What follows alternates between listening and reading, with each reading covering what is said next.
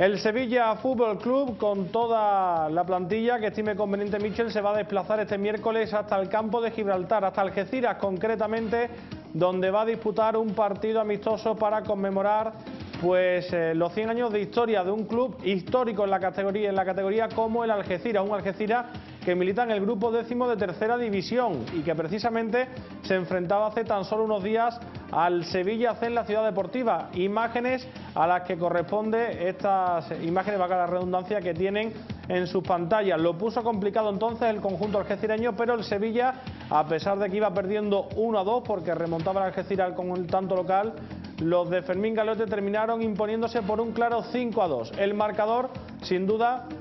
será lo de menos el próximo miércoles. Lo demás es que el Sevilla